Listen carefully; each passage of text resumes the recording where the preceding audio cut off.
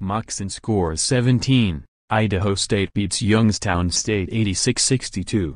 Pocatello, Idaho, App, Balint Mocsan scored 17 points, including three three-pointers, and grabbed seven rebounds to help Idaho State beat Youngstown State 86-62 on Monday night.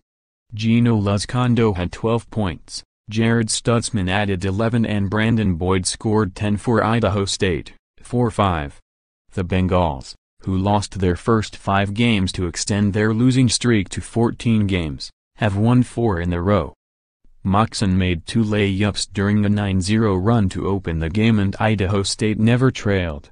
The Penguins pulled within three points before a dunk by Boyd sparked a 17-6 run that made it 40-26 when Gary Chivichyan hit a three-pointer with three seconds left in the first half. Braun Hartfield's three to open the second half trimmed Youngstown State's deficit to 11 points, but the Penguins would get no closer. Jaylen Benton led Youngstown State, 2-9, with 13 points.